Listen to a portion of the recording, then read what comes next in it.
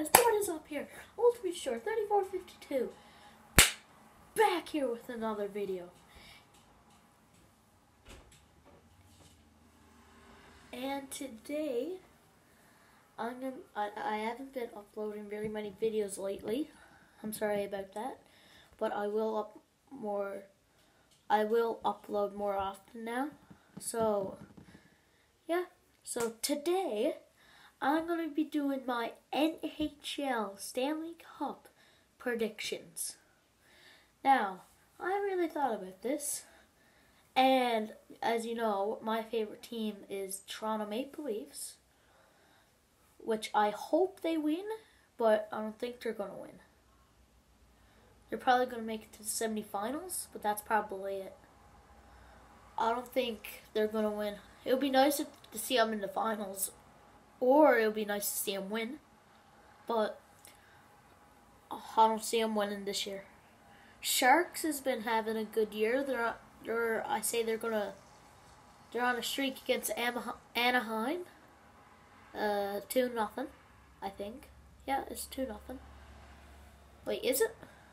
Yeah, I think it's two nothing. So I think San Jose is gonna make it past Anaheim, and then take it from there. But Sharks might make it to the semifinals too. Uh, do you know a nice game to see in the finals? Pittsburgh and Vegas. Because this will be Pittsburgh's third cup in a row.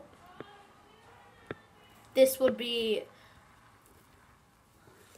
or it would be Vegas's first cup, and Pittsburgh's, th- or Pittsburgh's third cup. But Marc Andre Fleury will be facing his old team in the Stanley Cup Finals. That would be nice to see. Matt Murray versus Marc Andre Fleury. Matt Murray versus Marc Andre Fleury. It kind of rhymes. Well, that would be nice to see, but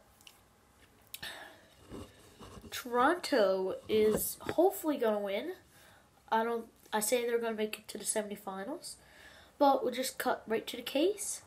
My predictions on the Stanley Cup winners for this year is drumroll is